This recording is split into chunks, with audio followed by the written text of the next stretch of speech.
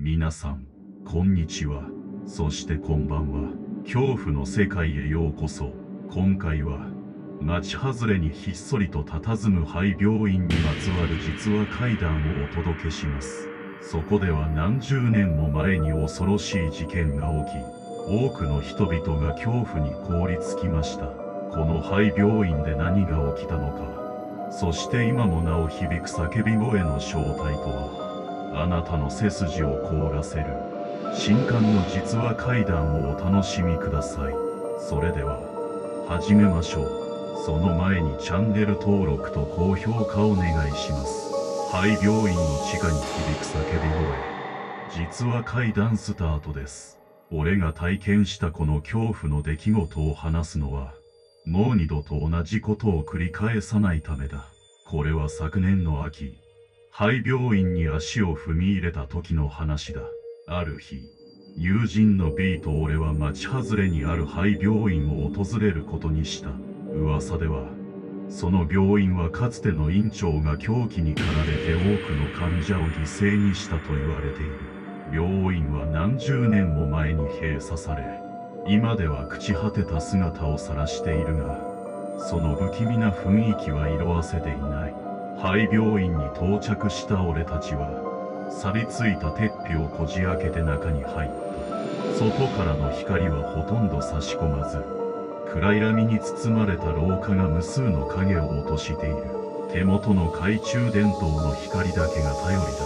俺たちは慎重に一歩ずつ進んでいった。廊下を進むと、ふと足元に古びた新聞の切れ端が落ちているのを見つけた。その新聞には病院長、患者を生贄にという見出しが踊っていた。背筋に冷たいものが走り、俺は急いでその場を立ち去ろうとしたが、B が言った。地下に行ってみよう。そこにはまだ何かがあるかもしれない。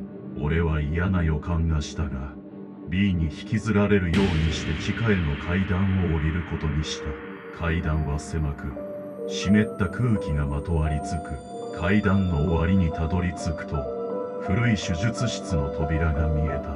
扉を開けると、そこには手術台があり、周囲には錆びた手術道具が散乱していた。部屋の奥にはさらに小さな扉があり、その先に行くともう一つの地下室があった。ここは明らかに違った。壁には不自然な模様が刻まれており、部屋全体に不吉な雰囲気が漂っていた。突然、背後からひどく冷たい風が吹きつけ、俺たちは一瞬にして凍りついた。振り返ると、扉は音もなく閉じていた。誰かいるのか。B が声を上げた。その時、かすかな声が耳に届いた。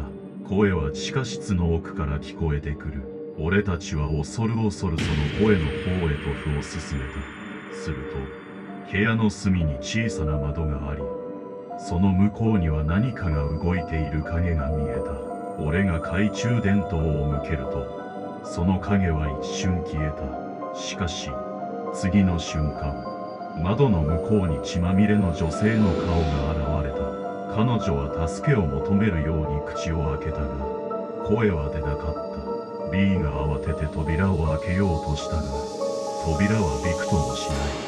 俺たちはその場で立ち尽くし、どうすることもできなかった。その時、地下室の中で何かが動き出した。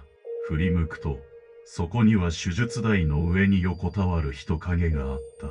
影は徐々に動き出し、俺たちに向かってゆっくりと近づいてきた。出るんだ。俺は B に叫んだが、B は恐怖で動けなかった。影が近づくにつれて、その姿がはっきりと見えてきた。それはかつての病院長だった。彼の目は血走り、口元には狂気の笑みが浮かんでいた。俺たちは必死に逃げようとしたが、影は容赦なく追いかけてきた。俺たちは何とか地下室から逃げ出し、病院の出口へと向かった。しかし、廊下を駆け抜けるうちに、病院内の影たちが次々と現れ、俺たちを取り囲んだ。最後には、廃病院全体が狂気に満ちた叫び声で満たされ、俺たちは逃げ場を失った。俺たちが気を失う直前 B が叫んだ。助けてくれ。次の瞬間俺たちは目を覚ました。そこは病院の外だった。周囲は明るく廃病院は静まり返っていた。俺たちは夢でも見たかのようにあの恐怖の体験を思い出したが足元には新聞の切れ端が残されていた。それは現実だったのだ。それ以来俺たちは二度と廃病院に近づくことはなかった。しかし毎晩のようにあの叫び声が耳に残り俺たちを苦しめ続けた。今でもその廃病院には何かが潜んでいる。もしあなたがこの話を聞いて興味本位で訪れることがあれば十分に注意してほしい。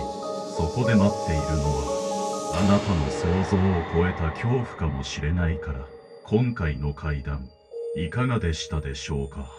背筋が凍るような恐怖を感じていただけたなら幸いです。この世の中にはまだまだ語り継がれていない恐ろしい物語がたくさん存在します。次回もまた。あなたの心を震わせるような実話怪談をお届けしますのでどうぞお楽しみに。チャンネル登録と高評価そして通知ベルのオンを忘れずにお願いします。